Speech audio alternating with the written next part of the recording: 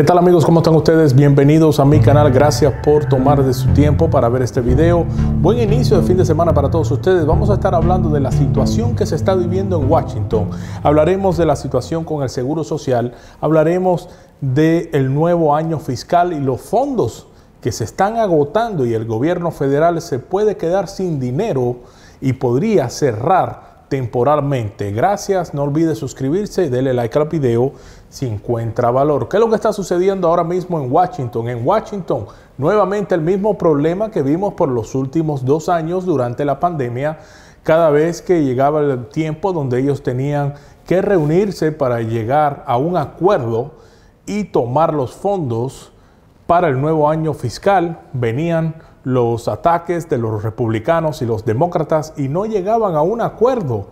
Y esto no es bueno porque si no tienen que pedir dinero prestado al Banco Central de los Estados Unidos y pagar después con altos intereses ese dinero al Banco Central. Recuerden que la Reserva Federal no es parte del gobierno federal, es completamente separado y entonces Estados Unidos tendría el gobierno federal que pedir dinero prestado. Se espera que el dinero que queda en estos momentos se agote para julio, aunque Goldman Sachs está diciendo que este dinero se va a agotar en junio. ¿De qué estamos hablando? El dinero del año fiscal que necesitan ellos para pagar los biles del gobierno todos los meses, ¿ok? Y ellos siempre tienen polémica cada vez que se trata de este tema el año fiscal empieza en septiembre y cuando ellos llegan a un acuerdo, ok, llegan a un número, ese dinero tiene que durar durante el año fiscal de septiembre hasta el septiembre del próximo año. Ok, espero que tenga eso bien claro. ¿Qué podría pasar si ellos no llegan a un acuerdo? Bueno, el gobierno federal podría cerrar temporalmente, como lo hemos visto en muchas ocasiones. No sería la primera vez que el gobierno federal cierra temporalmente y eso no es bueno porque los beneficiarios del Seguro Social y aquellos que dependen de otros programas federales dejarían de recibir su cheque temporalmente porque los empleados prácticamente se quedarían en casa mientras el gobierno federal cierra sus operaciones. Ahora, McCarthy, Kevin McCarthy está trabajando en una nueva legislación para llegar a un acuerdo con los demócratas con el número que ellos necesitan para el nuevo año fiscal. En enero de este año, ellos llegaron al techo, es decir, prácticamente ya llegaron al techo de lo que podían pedir prestado a la Reserva Federal y esto es un problema, no es la primera vez que lo vemos, no entiendo por qué esto no es algo que lo cual ellos llegan rápido, ponen todo sobre la mesa y al momento habilitan los fondos del nuevo año fiscal. Todos los años estamos viendo este problema en Washington. Me gustaría que usted tome unos segundos y me dé su opinión con respecto a esta situación. También amigos, sobre el tema del seguro social. Nuevamente están tratando de empujar dos legislaciones en el piso del Capitolio porque sabemos que hay varios congresistas que se siguen fajando para que aumenten el beneficio a los beneficiarios del Seguro Social aquí en los Estados Unidos. Ustedes saben todos los problemas, toda la situación que hay en estos momentos con la escasez que hay en la administración del Seguro Social, todas las veces que ellos han enviado carta, han pedido más dinero a la Casa Blanca. Estados Unidos está concentrado en ayudar a otros países y no en ayudar a aquellos que están aquí. Todavía tenemos a muchos veteranos pidiendo dinero allá afuera en las calles. Es increíble. Y recuerden que todo el que está allá afuera en las calles no está ahí por drogas o por ser delincuente. Hay excepciones, señores, y hay personas que no tienen otra opción que quedarse en la calle y la situación se empeora aún más.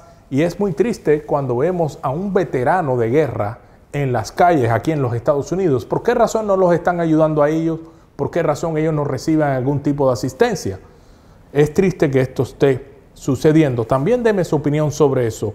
Hay dos legislaciones que quieren empujar en el piso del el Senado. Y recuerden, ninguna de estas dos legislaciones para aumentar el seguro social, ninguna son nuevas. Estas dos son legislaciones que se presentaron en el pasado, los demócratas quieren venir con una contraoferta en una de estas legislaciones presentada por dos republicanos, mientras que la otra legislación lo que quieren hacer es hacer cambios, enmiendas para poder modificar algunas de las reglas que vienen en esta legislación y presentarla nuevamente y esta sería presentada en el piso en la Cámara Baja, donde hay más de 400 representantes aquí en los Estados Unidos, y después que pasarían los votos ahí, irían al Senado, donde hay 100 senadores, y tendría que también pasar los votos antes de llegar al escritorio del presidente y que sea firmado.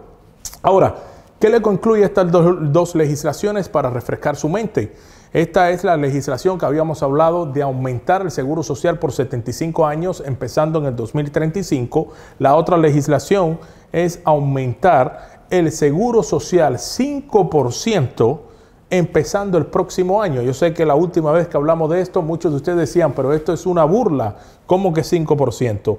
Pues es lo que ahora quieren ellos empujar, revivir nuevamente allá en Washington. Vamos a ver, yo les voy a traer la información detallada de exactamente lo que pase y cómo se muevan adelante esta noticia que está en desarrollo, porque ahora nuevamente quieren hacer algo con el seguro social. Yo sé que muchos de ustedes están esperando un aumento de 200 dólares al mes.